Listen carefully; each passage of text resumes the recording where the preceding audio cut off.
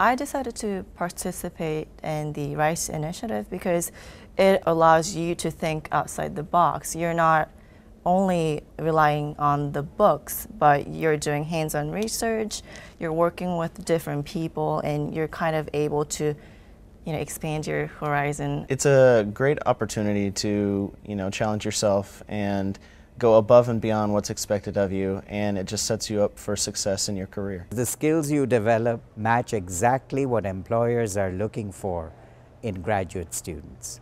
The ability to communicate, the ability to do teamwork, these are all skills which you learn from RISE experiences. You grow so much as a person through doing the RISE initiative because you learn that you can give so much more to your community, to yourself, to other people just by doing these little things.